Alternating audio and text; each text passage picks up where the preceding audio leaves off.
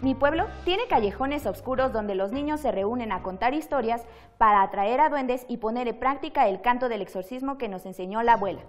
¿Quieres descubrir cuál es el canto del exorcismo que les enseñó la abuela? Dos es mi corazón de Irma Pineda para niños. Este libro está ilustrado por niños de Juchitán, Oaxaca, niños como tú. También está escrito en zapoteco. Cuéntanos, ¿conoces alguna otra lengua o otro libro que esté escrito en otra lengua mexicana?